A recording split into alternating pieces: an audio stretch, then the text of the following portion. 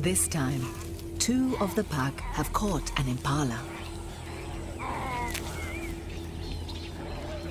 They kill and consume it in a matter of minutes.